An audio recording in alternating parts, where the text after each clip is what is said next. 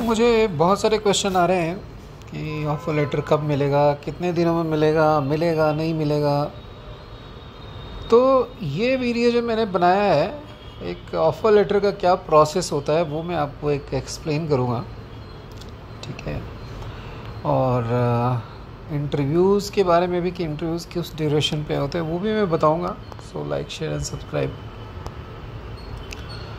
तो दोस्तों, सबसे पहले तो आपका जैसे रिज्यूमे मान लो कि आपका शॉर्ट लिस्ट हो गया, उसके बाद आपको इंटरव्यू कॉल्स आते हैं। और नॉर्मल कंपनी में जो है जनरली दो राउंड टेक्निकल होगा और एक राउंड आपका एचआर होगा। किसी किसी कंपनी में एक राउंड टेक्निकल और एचआर हो जाता है, ठीक है? और उसके बीच में जो है एचआर के पहले एक मैनेजरियल राउंड भी होता है। तो दो राउंड टेक्निकल एक मैनेजर एक एच या फिर एक राउंड टेक्निकल एक मैनेजर एक एच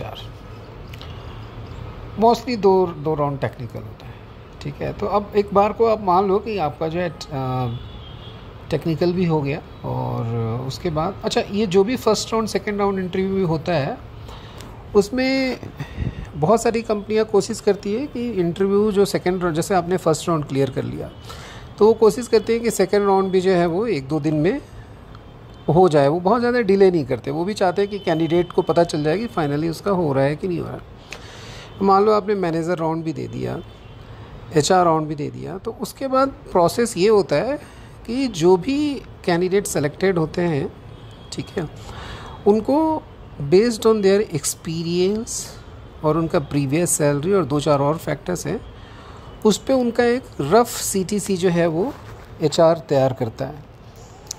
और जो कि उनके प्री डिफाइंड रेंज में होता है कि जैसे मैं सॉफ्टवेयर इंजीनियर को चार से छः के बीच में ही दूँगा। ठीक है? तो वो एक रफ़ सीटीसी कैंडिडेट को भेजते हैं और वो रफ़ सीटीसी भेजने में जो है करीब तीन से चार दिन या पाँच दिन का टाइम लगता है। जैसे ही रफ़ सीटीसी भेजा और रफ़ सी जो है वो कैंडिडेट को भी लगा कि ये मेरा ठीक है ठीक है? तो वो अप्रूवल भेजते हैं कि नहीं, ये सीटीसी मेरा ठीक है। तो उसके बाद एच जो है फर्दर हमें लगता है कि जो एक बार सिलेक्शन हो गया, उसके बाद प्रोसेस बहुत आसान होता है एचआर के लिए, ऐसा कुछ नहीं होता। एचआर को भी वेरियस लेवल पे अप्रूवल चाहिए होता है। मान लो किसी कैंडिडेट ने जो है रेंज जो है छः लाख की है, लेकिन सात लाख मांग लिया, और रेंज लेकिन छः की है तो एचआर को एक स्पेशल अप्रूवल चाहिए होता है। उनके पता है कि कैंडिडेट बहुत अच्छा है तो फिर स्पेशल स्पेशल अप्रूवल नहीं भी चाहिए तो इवन नॉर्मल ऑफ़र के लिए भी इनको बहुत सारे अप्रूवल लेने पड़ते हैं। वो अगर आपका सिलेक्शन हो गया तो यूज़ और एचआर राउंड के बाद सीटीसी के रफ सी टी कन्फर्मेशन के बाद, आप मान के चलो कि वन वीक टाइम जो है कम से कम लगेगा। तो ओवरऑल जो टाइमिंग है, मैं कहूँगा कि एचआर राउंड के बाद आप समझ लो कि दो से दो हफ़्ते का प्रोसेस है। आपको पॉजिटिविटी पॉजिटिव सिग्नल मिली, मिलने शुरू हो जाएँगे दो दो हफ़्ते के अंदर एचआर से। उसके बाद जो है आपका ऑफ़र लेटर रिलीज़ होगा।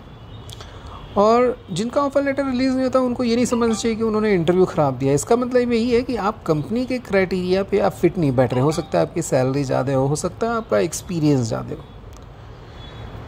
और आप बिलीव नहीं करेंगे, बहुत बार ऐसा होता है कि इंटरव्यू देने के बाद भी आपको कोई फीडबैक नहीं दिया जाता और अचानक छः महीने बाद कंपनी को रिक्वायरमेंट होती है तो हो सकता है छः महीने बाद आपको बुलाया कि हाँ भाई आपका हो गया है। तो रेयर केसेस में ये भी देखा गया है। तो usually two two three week like share and subscribe दोस्तों। मेरे मूवीज़ रिव्यूज़ को भी like share and subscribe thank you